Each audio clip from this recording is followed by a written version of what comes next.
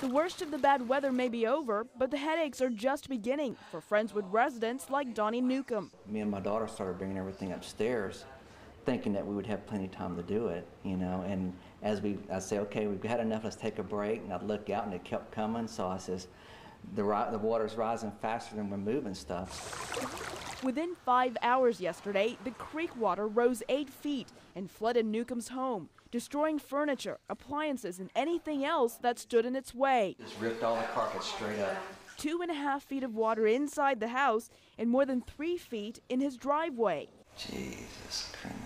Newcomb has never seen so much water in such a short time. Homes near the creek like this one are in a flood zone, and owners are required to have flood insurance that costs anywhere from $800 to $2,000 for disaster just like this. And many owners say it's a risk they're willing to take. But it's a good neighborhood. You like the people. It's nice and quiet, and everybody's real friendly. It's just you never really realize how deep the water gets here. A few hours of rain, thousands of dollars worth of damage, and it's just the beginning of hurricane season. Water knocked that one over, and you can see it's, it got up to about here, even with it being on the cinder blocks. So. Facing these hard facts, Newcomb hopes Mother Nature will be kinder and says he'll start repairing his home as soon as the water recedes. Elizabeth Lee, WB 39 News.